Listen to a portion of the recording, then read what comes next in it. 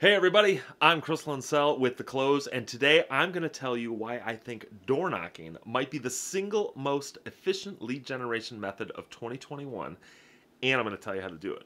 Think I'm crazy? I'm not. Let me explain. We all face some pretty incredible challenges in 2020.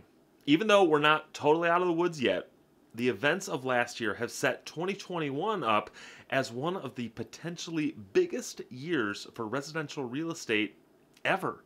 But there's a problem. The inventory shortage in many US markets is slowing down that opportunity. There simply aren't enough houses to meet the demand of all the buyers, which has a lot of realtors scrambling for new ways to generate listings. And I'm here to tell you that door knocking a strategy that many a realtor has shunned as either too hard, too awkward, or just not productive, is going to be a standout way to get new listings in 2021. Now, why door knocking and why now? Well, a couple of reasons. First of all, COVID has made many of us feel starved for human contact. We're not so much in that emergency phase any longer, and we know that with the right mask protocols, we can be safe talking to other people. We're ready to start interacting with other human beings, and so a knock at the door will have a friendlier reception right now than it may have in the past. Second, thanks to this crazy inventory crunch, homes are worth more right now than most homeowners realize, which gives you the person with the specialized knowledge about the market the advantage. If you can get a conversation going about home values, you're much more likely than you were even, say, 24 months ago to get interested leads. So, given these two conditions, here's a strategy that you can use to make door knocking work. First, you're going to find a neighborhood with a recently sold home in it. Now, preferably, you'd want that home to be one that you sold but if not, that's okay too. All you're really looking for here is a data point that you can use to start a conversation.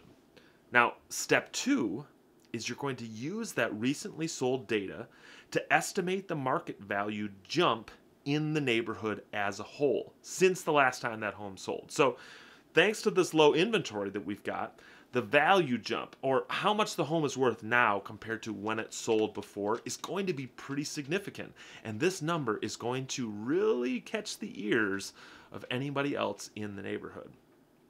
Step three, you're going to take that data point, take that estimated value jump and you're going to use your MLS and you're going to look up the dates of the last sales for the other homes in the in the in the neighborhood there as well as what they sold for. And you can use your data point your value jump to estimate roughly what the value of the other homes in the neighborhood are. Step 4 this is where the uh, rubber hits the road the rubber on our shoes I mean we're going to get out there and knock some doors. We're going to start sharing our estimates. You're going to get some raised eyebrows when you mention home value jumps 20, 30, 40% of what they were before. And given the market conditions in many places in the US, that is not going to be a stretch. You're going to find places where you have huge jumps in value. When your prospect shows some interest in your pitch, that's when you go in for the close. Step five you're going to offer to do a complete CMA. You're going to give your prospect the elevator pitch on the value of a full CMA. They might push back on you. They might say, you know what? I've been on Zillow. I did my Zestimate. And you can say, look, who would you want estimating the value of your home? A computer off in Seattle or a realtor who has worked the neighborhood, who knows the homes, who knows your local market? You're going to highlight your area expertise and your experience. You're going to pitch to them with that with that CMA, they can fully evaluate their market options in their market.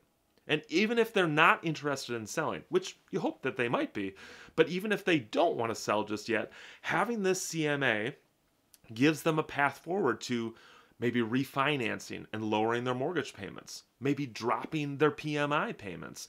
Maybe it would give them some insight into the equity they could have which could lead to a home equity loan and them finishing off some of those projects they've always meant to do. Remember, when you're making your pitch, don't ask for business, ask to help. By offering your expertise and experience, by giving your prospects a chance to decide for themselves, you are creating relationships. Now, if you're feeling nervous about door knocking, don't worry, I get it. You're providing value to this community. You're not asking, offering. And if you want just a little bit of support or help getting prepped for door knocking, we got you covered. Check down in the links to the description of this video. There you're going to find some door knocking scripts as well as overall tips for door knocking success. We've also got uh, a link there to uh, a strategy guide all about CMAs if you want some brush up on your CMA practice. In fact, we've even got a YouTube video all about doing great CMAs, so make sure you check that out too. If you like this video, please hit that like button. And if you want to stay in the loop on all the great real estate content the Close is putting out, hit that subscribe button and, you know, mash that little notification bell so we can keep you updated whenever there's new content on the channel. Really hope that this helps you out. Can't wait to see you out in the neighborhood and can't wait to hear about your door knocking success. See you next time.